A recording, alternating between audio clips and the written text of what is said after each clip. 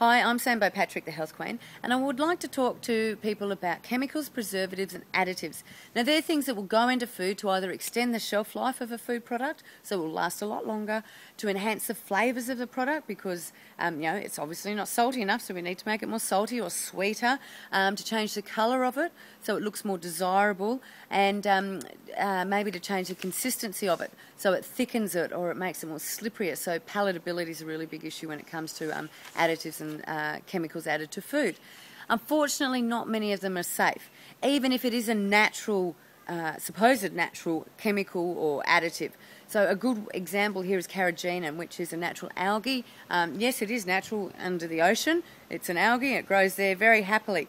We use it a lot for thickening, so we use it in um, thickening yogurts, ice creams, milk drinks, chocolate drinks, all those sorts of things. And um, it'll go by the numbers 412, 415. Um, you might see it just written on the ingredients list as carrageenan.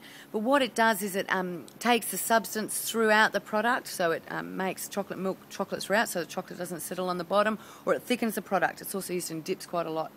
Unfortunately, though, something like that actually in the body, even though it's natural as a plant source, will um, get converted and it can act like MSG inside people. And a lot of chemicals, preservatives, and colours do this. Doesn't matter in my mind if they're natural or if they're synthetic.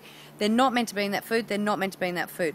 So try and look at the ingredients panel, see what's in it. If there's any numbers there, don't have it. If there's any long names there, don't have it. If it's a tomato paste, it really should just have some tomato, some onions, some spices, and water, and that's it anything else and you know you're putting into your body, something that potentially is harmful and could interact and change the behaviour or your health. Not worth it, folks. Keep it clean, keep it natural, keep it simple. I'm Sam, the Health Queen.